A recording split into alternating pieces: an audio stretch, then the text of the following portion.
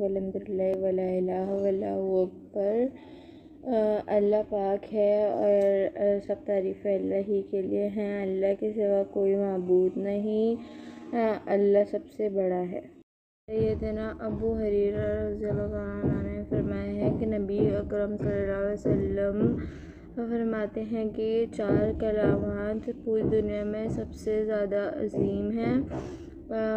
नबी अकरम वसल्लम ने फरमाया कि इन चारों में से किसी किसी से भी इब्तदा कर ली जाए, कोई हर्ज नहीं है।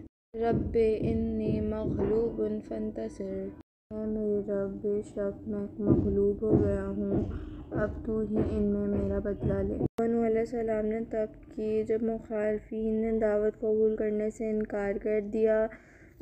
धमकियाँ देने लगे, लानत मलामत करने लगे। तो चुनाचा अल्लाह ताला ने ये दुआ फ़ौर कबूल कर ली, आसमान के दहाने खोल दिए।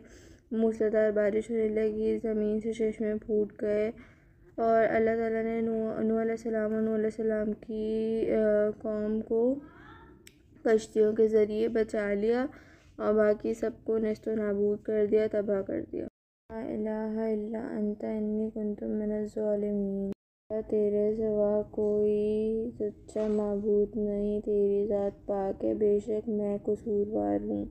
ये दुआ सैदना यूनुस ने मछली के पेट में की और अल्लाह ताला ने कबूल फरमाया, अल्लाह ताला ने फरमाया, जिस मुसलमान ने भी मुसीबत के वक्त ये दुआ की और अल्लाह को पुकारा, उसकी दुआ ज़रूर कबूल होगी।